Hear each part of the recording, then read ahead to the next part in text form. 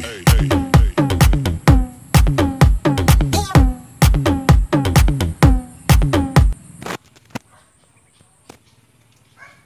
afternoon sa lahat. Ito na yung Aerox na repair. Dati may interior. Kukuhanin ko yung interior na dati.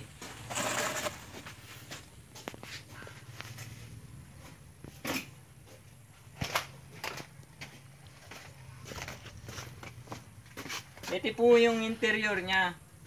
Yung harapan, ito yung panlikod. Ito po yung nakalagay dati. Tinanggal ko na po. Walang interior na po ngayon. Oh, ito po siya ngayon na result. Oh, matigas na po. May hangin na po ito. Mamaya ilulubog ko sa tubig. Do double check ko ulit kung may singaw or wala. Okay. Naka-tubeless na po ito. Tubeless. Nung una po, parang pinanghihinaan ako ng loob. Kasi lahat po ng builder na nakilala ko eh mukhang hindi po yata kinaya itong ganitong lapad. By 8 8 inches po yung rim. Yung gulong po 160-60. Sa tingin ko po parang hindi ko kakayanin nung una. Eh ngayon po nagawa ko. Kaya ko na pala. Oh. Ito po.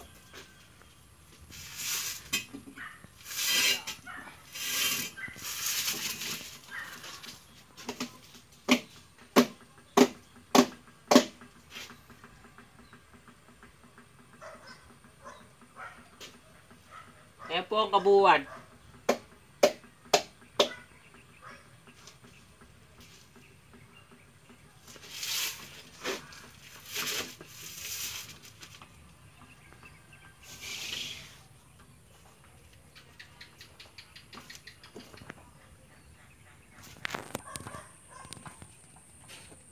Okay na po, okay.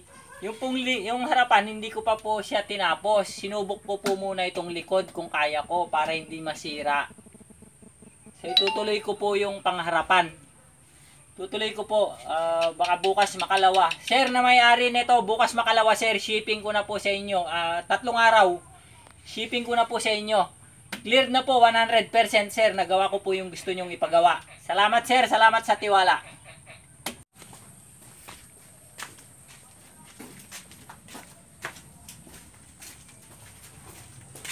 Diyan ka na.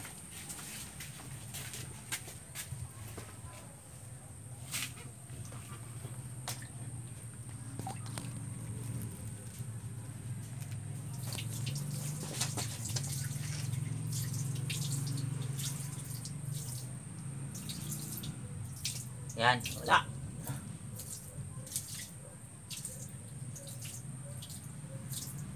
Ayos. Walang singaw. Ayos, pwede pala. Pwede palang gawing tubeless ang malapad na rim. Ayos. Oh, yun. Sa kabila. Ito yung pito. Oh. Na. Oh.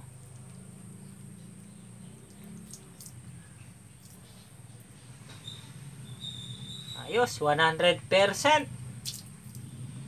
Pwede palang gawing tubeless po ang malapad na rim, 8 inches. Wide rim, ginawan tubeless, 160 over 60 ang gulong. 160 over 60, Shinko, Shinko tire. Okay. Oh, ay sir, okay po, 100% nagawa ko. Salamat po, salamat, salamat sa tiwala.